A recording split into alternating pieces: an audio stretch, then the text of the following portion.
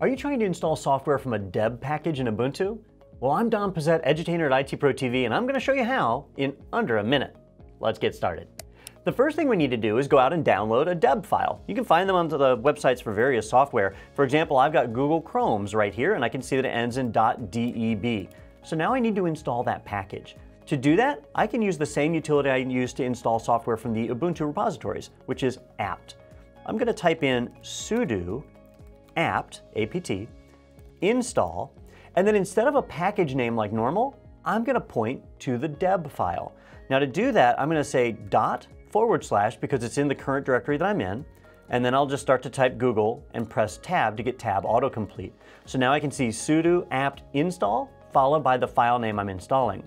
Once I run that, it's gonna take a look at it, identify if any dependencies are needed, and then perform the installation. Most of the software is going to come from the deb file, but for dependencies, it'll reach out to the regular repositories, pull them in, and get it installed. And now that that's done, I can see that I've got Google Chrome installed and the deb package is done. Thanks for watching this Linux in a Minute video. Be sure to check out the playlist below to find more Linux videos. And don't forget to subscribe to the IT Pro TV YouTube channel.